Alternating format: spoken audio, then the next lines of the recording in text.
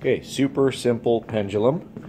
I'm going to take a neodymium magnet, which is a very strong magnet, stick it to the bottom of the nut, and if we let this thing swing back and forth, you can see that it swings for quite a long time. Now the cool thing about these magnets is they stick quite well to things like iron, nickel, and cobalt, but this is a piece of aluminum and the magnet will not stick to it whatsoever. Nothing. Bring it close to that uh, iron nut and you'll see that it right away sticks to it. So, if I move the piece of aluminum out of the way, get the pendulum to swing back and forth, it will swing for a very long time.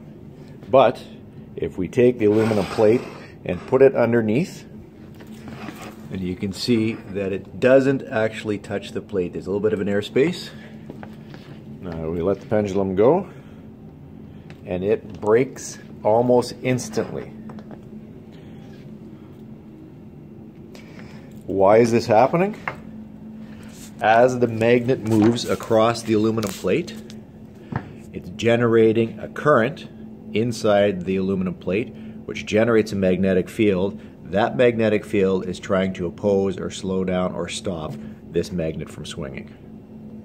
Okay, here we've got an aluminum disc, which if I turn the motor on will start to spin it quite quickly.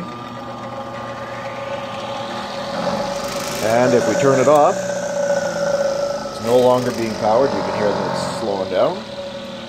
It will spin for at least 10 to 15 seconds before eventually coming to rest.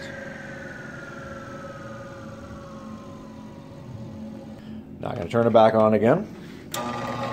Get it up to speed. In my hand, I've got the neodymium magnets one more time.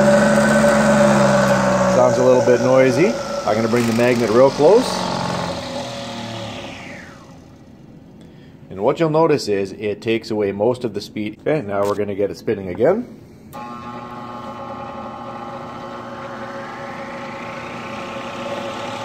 Okay, turn off the uh, power.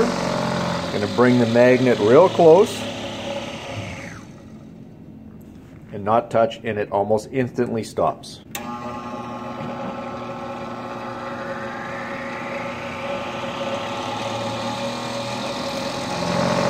So what we're doing is creating an electromagnetic brake where the magnet, when it gets close enough, causes the induced current in the aluminum disc to make another magnetic field that wants to stop the rotation. Super handy for amusement park rides where you need them to come to rest and you don't want to rely on an old system of friction pads with brakes stopping the ride in case the friction pads wear out.